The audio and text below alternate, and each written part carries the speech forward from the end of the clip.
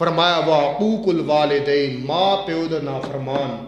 जिसने माँ बाप को सताया, उसको अल्लाह दुनिया के अंदर जलील रसवा करके मारता है। जिन्होंने माँ प्यो चले गए,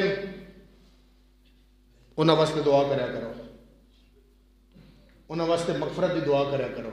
और यह जरा कल्चर है ना, साढ़ा सालाना कराना जी, सालाने की दुआ है चालीसवीं की दुआ है, ये सब हमारी रस्में हैं। इसका बड़ा नुकसान हुआ है। हम सालाना करा के भूल जाते हैं। हर रोज उनका सालाना है, हर रोज उनकी दुआ है, हर रोज उनके लिए स्कूल है। हर रोज उनको याद करो। और पिछले दिनों एक साहब मौलवी साहब के पास गए, कहने लगा, मौलवी साहब, मुझे ख्वाब आई है। मेरे अब्बा जी ख्वाब में मुझे मिलते हैं। और वो कहते हैं, बेटा बैलेंस करवाओ, मेरा बैलेंस ख़त्म हो चुका है। एक गल शायद थोड़े फ़ायदे की मैं ता करके शेयर कर रहे थे।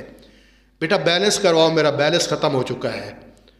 अच्छा वो बच्चा दुनियादार, उसको समझ ना आई, एक दफ़ा ख्वाब आया, दूसरी दफ़ा तीन महीने गुजर गए मुसलसल अब्बा जी ख्वाब में आकर कहते हैं, बेटा, मेरा बैलेंस करवाओ।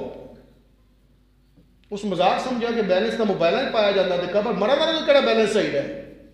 उत्थे कड़े मोबाइल कबर के आखिरकार वो कहीं परेशान होकर ना एक मौलवी साहब के पास चला गया कि जी अब्बा जी रोज़ा ख्वाब में आते हैं और कहते हैं मुझे बैलेंस भेजो, मेरा बैलेंस ख़त्म हो चुका है, मेरा बैलेंस भी करवाओ।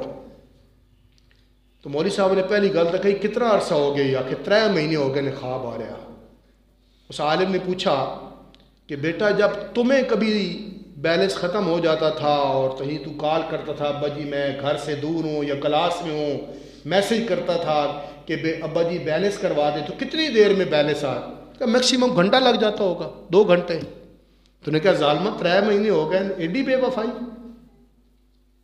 तीन माह हो गए हैं तेरा बाप तुझे मैसेज दे रहा है कि बैलेंस, वो तेरे लिए एक घंटा नहीं था और तूने तीन महीने गुजार दिए। कहा, मुझे समझ नहीं आ रही थी। फरमाया, बैलेंस आखरत का क्या है? फरमाया, उनके लिए सदका कर और दुआ का एहतमाम कर, वो बैलेंस है उनका।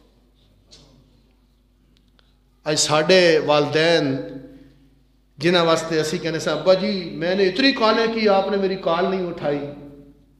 इतनी बार आपको मैंने मैसेज किया, आपने मेरे मैसेज का रिप्लाई नहीं किया। मरने वाले भी हमें मैसेज करते हैं। उन्हें रिप्लाई किया करो। उन्हें बैलेंस भेजा करो, उन्हें रोज़ दुआओं में याद रखा करो और याद रखो माँ बाप के साथ भला करोगे, रिस्क में भी बरकत होगी, उम्र में भी इजाफा होगा और औलाद भी फरवबरदार होगी। अगर माँ बाप के साथ बुरा करोगे तो याद रखो तुम जितने भी हाजी ते नमाजी बन जाओ, अल्लाह दुनिया ते कर्जा उतरवा के फिर थोड़ा रवाना करेगा। अल्लाह से दुआ है, अल्लाह हमें वालदेन का फर्म बरदार बनाए वाखरदा